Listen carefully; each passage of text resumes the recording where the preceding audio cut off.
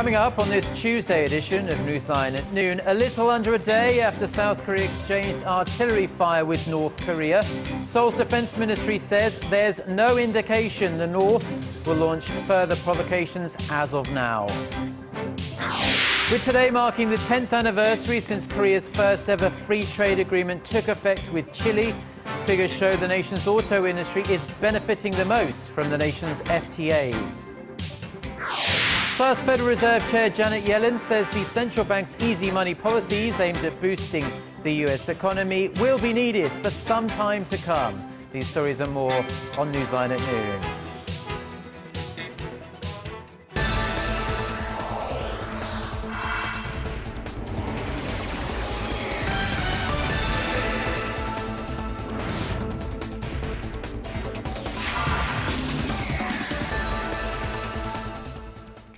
Thanks for joining us. You're watching Newsline at noon. I'm Ojin Ju in Seoul. Very good to have you with us. I'm Mark Broom. Our top story this lunchtime. Less than a day has passed since the two Koreas peppered each other's territorial waters with artillery shells in the latest sign of rising inter-Korean tensions. For the latest on the cross-border firings, we now go live to our Kim Hyun-bin, who's standing by at the Ministry of National Defense in Seoul. Hyun-bin, we hear the ministry just held a briefing. Good what are afternoon. they saying? Uh, South Korean Defense Ministry spokesperson Kim Min-suk, in a press briefing a little over an hour ago, uh, said that currently there are no signs that North Korea is preparing for any additional provocations.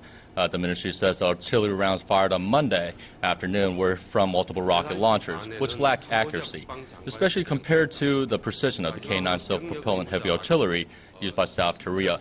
Officials say that out of the 500 shells fired by uh, the North uh, during a live fire military drill, around 100 fell almost three and a half kilometers over the border in South Korean waters near the Pyeongdo Island. Uh, South Korea responded by shooting 300 K-9 self-propelled heavy artillery shells into North Korean waters and dispatched several F-15 fighter jets to the maritime border. Mm-hmm. But we hear that the Defense Ministry is preparing for any contingencies or possible provocations, even though say they said no to this at this point.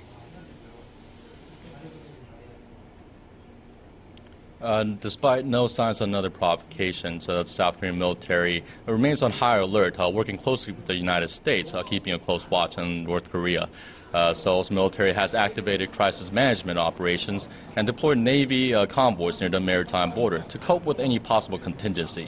Uh, several inter-Korean skirmishes have taken place around the area over the years, including the North shelling of Yeonpyeongdo Island in 2010, which killed four South Koreans.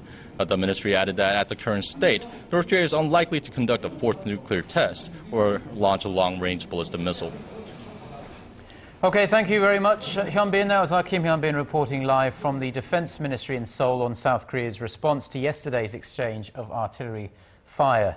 So, North Korea is once again finding itself on the receiving end of international criticism for firing all those artillery rounds into South Korean waters. Mm -hmm. The United States has slammed Pyongyang for its actions, and even North Korea's closest ally, China, has expressed its deep concern. Our Yoo Li-an has the details. The United States called North Korea's firing of around 100 artillery rounds into South Korean waters on Monday as dangerous and provocative, adding that Pyongyang's threats will only isolate the regime even further. We remain steadfast in our commitment uh, to the defense of our allies, and we remain in close coordination with uh, both the Republic of Korea and Japan. U.S. State Department Deputy Spokeswoman Marie Harf said she was concerned about North Korea's deliberate decision to further escalate tensions. Uh, they can choose to further escalate, or they can choose to come in line with their international obligations uh, and rejoin the international community. Unfortunately, what we've seen recently, particularly, is the former. U.S. Defense Secretary Chuck Hagel urged North Korea to discontinue such provocations. He said he would discuss the issue with his Chinese counterpart during a trip to Beijing next week. China's foreign ministry spokesman Hong Lei expressed concern over the rising tensions on the Korean peninsula and called for restraint from both sides.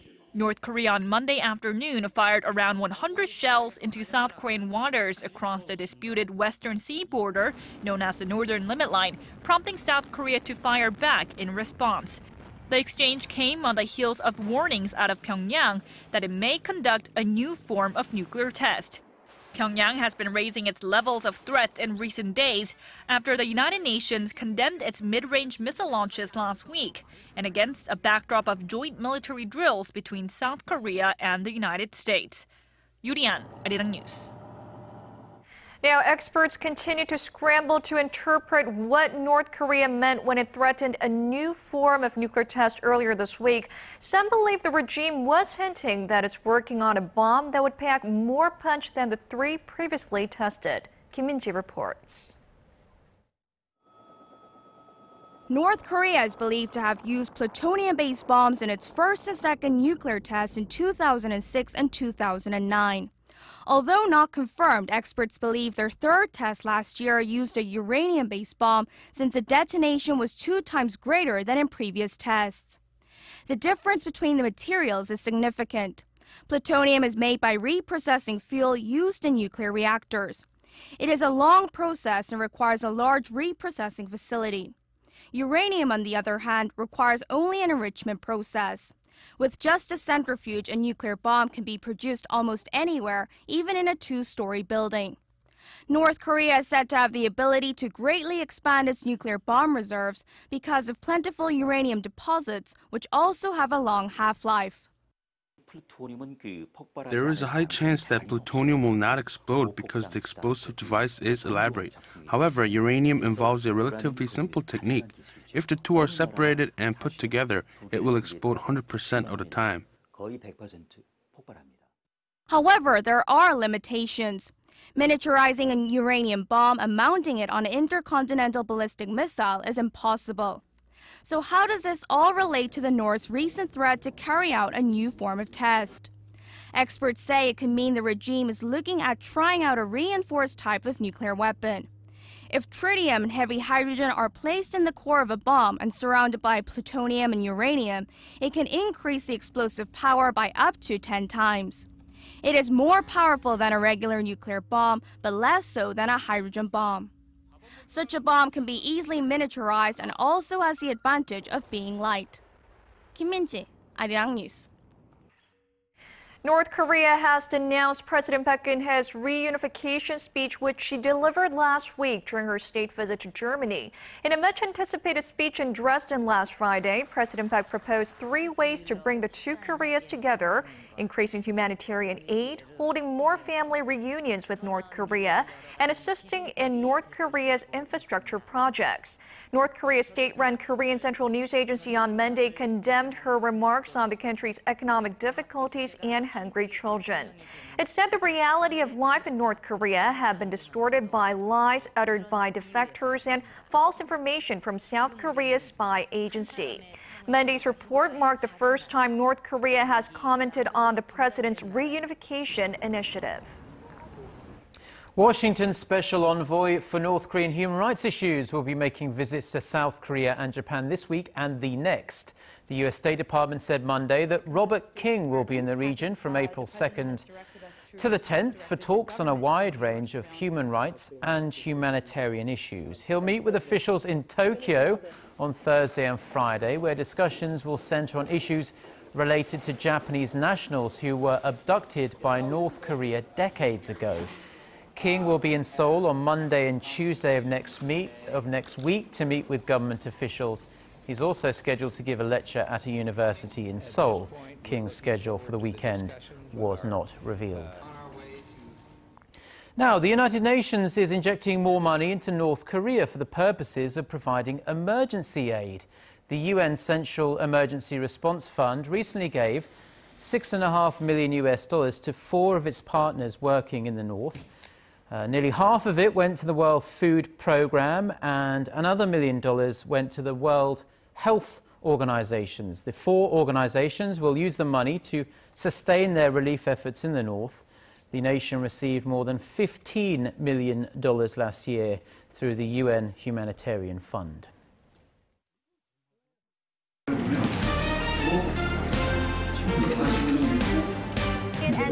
Stay up to date on the latest news out of Korea.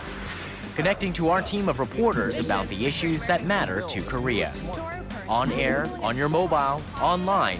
Find out more about Korea on Newsline at noon with Mark Broom and Uchin Ju. I'm Ojinju Pro. Market researcher, strategy analytics said Thursday that LG Electronics. U.S. Federal Reserve Chair Janet Yellen says there's still room for the central bank to help the economy. She offered a passionate defense of the Fed's easy money policy on Monday, making clear the struggling U.S. job market will continue to need the help of low interest rates for some time to come. Ji Gil has more. In her first public speech since becoming Fed chair two months ago, Janet Yellen cited the struggles of three American workers to back up the central bank's policies of low interest rates and continued bond buying. She said considerable slack still exists in the job market, a sign that further monetary stimulus can still be effective. I think this extraordinary commitment is still needed and will be for some time and I believe this view is widely shared by my fellow policymakers at the Fed. The Fed has held interest rates near zero for more than five years now. The central bank says it will keep rates there for a considerable time even after it ends its bond buying program, which is on course to be wound down later this year. Yellen said the U.S. economy remains well short of the Fed's goals of maximum sustainable employment. I believe the Fed's policies will continue to help sustain progress in the job market. But the scars from the Great Recession remain, and reaching our goals will take time. U.S. stocks rose on Monday, with the Standard & Poor's 500 ending March with moderate gains. Yellen's remarks calmed investors, many of whom had grown anxious the Fed might raise short-term rates by mid-2015. Kim Hyung-gil, Arirang News. Now, back here in the nation, Korean exporters aren't just weathering the storm of economic uncertainties abroad, they seem to be thriving. In fact, the nation's exports rose to their second highest mark on record in March. Arirang News' Hwang Jie has the details. Korea's trade ministry said Tuesday that the nation's exports rose 5.2% last month from the same period a year earlier to over 49 billion US dollars. That is the second highest mark on record following the highest monthly figure of over 50 billion posted in October last year. The ministry attributed the rise to growing shipments to advanced economies, including the United States. Exports to the U.S. jumped 17% in March from the previous year, while those to the European Union rose 15%. Korea's exports to the U.S. in particular slowed in the first two months of the year due to the harsh winter there, with the rate of rise remaining in the single figures. By product mobile communication devices such as handsets soared over 30%, with shipments of automobiles rising 16%. Korea's imports, meanwhile, reached $45 billion last month, up 3.6% from the previous year, helped by an increase in purchases of consumer goods. The trade surplus came to around 4.2 billion. The Trade Ministry expects the domestic economy to continue its pace of export growth in the second quarter of this year on improved economic conditions in advanced countries. Hwang Jie, Arirang News. It's been exactly 10 years since Korea's first ever free trade agreement with Chile came into effect. Korea's auto industry has benefited the most from the country's FTAs, while the nation's farmers are less satisfied with the trade deals. Our Na Hyun-kyung reports. The trade volume between Korea and Chile has jumped four and a half times to more than 7 billion US dollars over the past 10 years. Exports grew from 500 million to 2.5 billion dollars, while imports more than quadrupled to 4.7 billion dollars, according to the Korea Customs Service. Given that Korea's overall trade volume increased about threefold in the same period, experts say the trade sector has without question benefited from the Korea-Chile FTA. Since 2004, Korea has entered into nine free trade pacts with a total of 46 countries, and the nation's automobile industry remains the biggest beneficiary. But very real concerns linger over the impact on the nation's agricultural industry. In order to minimize the negative effects on the domestic agricultural sector, experts are calling for reforms in the market's retail structure. For items that are dominant in the market, more open competition needs to be in place so that the consumers can reap the benefits. Korea's retail industry also tends to be monopolistic. Diverse retail channels will help products compete in a fairer manner. Questions over whether the nation's small and mid-sized firms have seen any benefits also remain. A survey conducted by the Korea International Trade Association shows that although 60% of the nation's SMEs with sales of less than $9.3 million utilized the FTAs, nearly half felt that the trade deals had not helped them in any way. Trade officials have called for more detailed and customized information to be readily available to the SMEs so that they can strategize and pave themselves an easier path into the overseas market.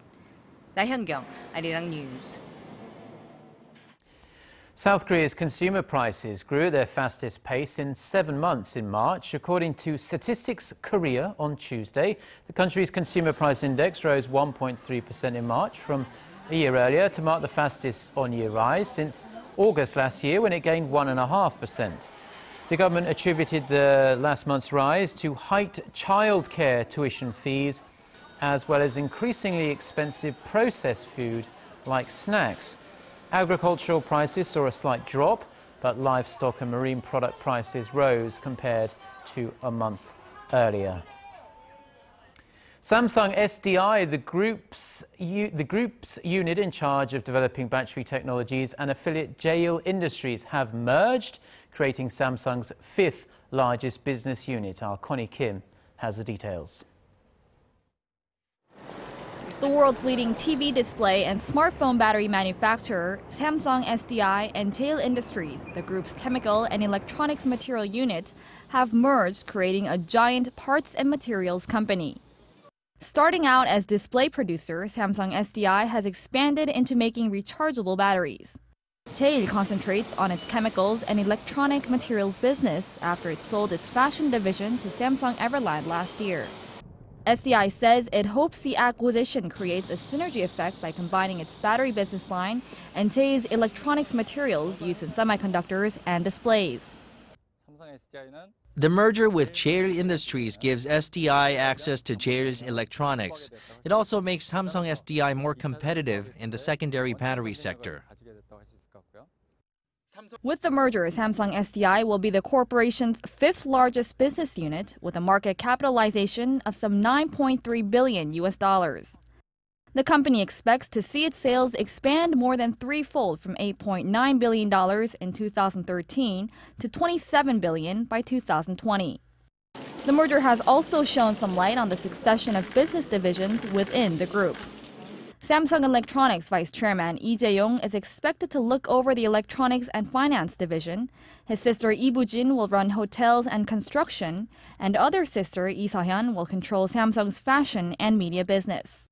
Although the Cheil Industries is closing operations after 60 years, market watchers say it'll keep its name as Samsung founder Lee Byung-chul had great affection for the unit.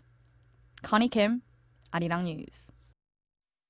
Now, those of our viewers in Korea might have woken up a bit earlier than expected this morning, due in part to a, a rare magnitude 5.1 earthquake. It was the third strongest ever recorded here in Korea, but fortunately, no damage has been reported. Kwon Soa has the details. A 5.1 magnitude earthquake shook the nation at 4:48 a.m. Tuesday morning, with an epicenter in waters around 100 kilometers west of Taean County in Chungcheongnam-do province. It's the fourth most powerful earthquake ever recorded on the Korean peninsula and the third strongest in South Korea. Tuesday's quake lasted between 5 and 7 seconds and affected an area spanning a radius of 200 kilometers, shaking buildings and other structures. Even residents of Seoul and Gyeonggi-do province were among those who felt the earth move beneath them. I was awake. My house shook so much that our refrigerator made rattling noises. Hundreds of citizens called their local authorities to report the quake, and social network services were full of messages on the rare incident. It's also raised concerns about whether Korea is prepared for the possibility of stronger quakes. While experts say a magnitude 5 quake with an epicenter on land would likely cause damage, they add that Korea's geological site conditions make the chances of a large magnitude earthquake like those seen in Japan and China very small.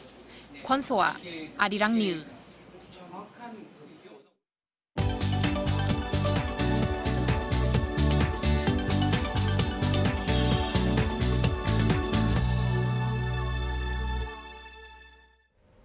Now, for a look at the international headlines we're following at this hour, we're going to connect live to our Eunice Kim, who's standing by at the news center.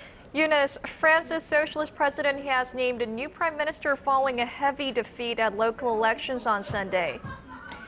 That's right. Hi, guys. French President Francois Hollande tapped former Interior Minister Manuel Valls as his new prime minister after his former number two resigned following the ruling party's brutal election loss.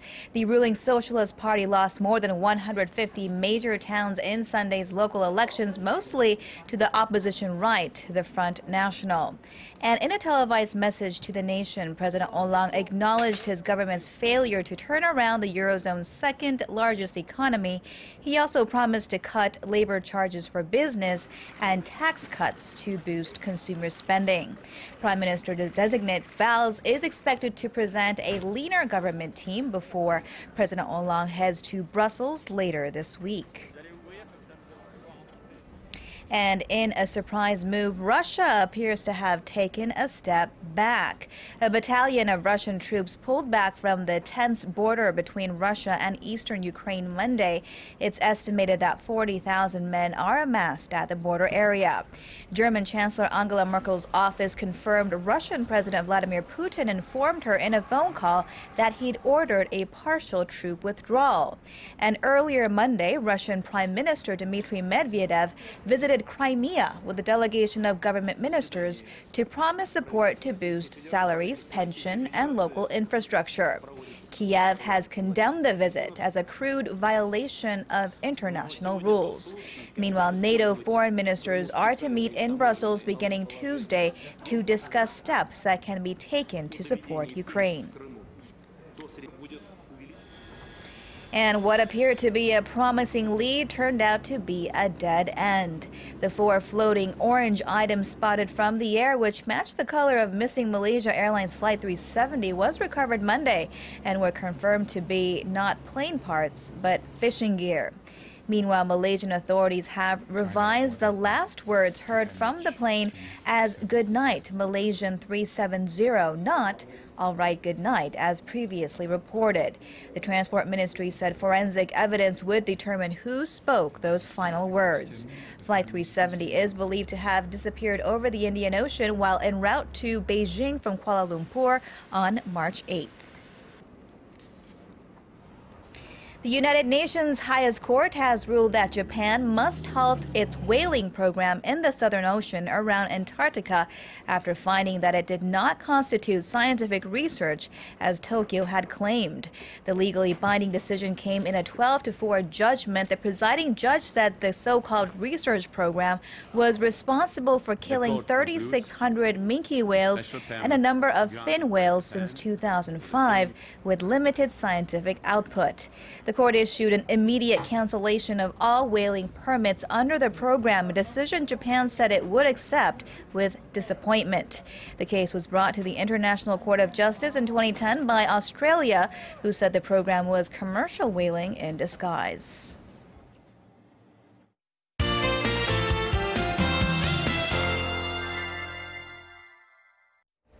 Well, the month of April started off mild and sunny, but the sunshine will give way to clouds as the day goes on. And the warm temperatures will continue today, and highs across the entire nation will rise a couple of degrees higher than yesterday. And as the weather gets milder, the risk of drowsy driving increases. And it's been reported that related accidents occur most often between 2 and 4 in the afternoon, so please be careful out on the roads. Now, tomorrow we are expecting a similar weather pattern as today's, but eventually things will cool down a bit before the end of the week, and there is a chance of rain on Thursday in the central region. With that in mind, uh, let's take a closer look at the readings for today. The morning low in Seoul started out at 10, but the afternoon high will soar to 22. Daegu and Gwangju get up to 23, and Busan should top out at 19. Now, for other regions, it looks like down on Jeju and Daejeon will peak at 19 and 22. Dokdo climbs to 14, and mild afternoon is in store for Mount Kumgang at 15. Well, that's all for me today, and hope you have a wonderful rest of the day. Okay, thank you very much for the weather there, Jian. And those are the stories we are following at this hour. Mark and I will be back at the same time tomorrow. Thank you for watching.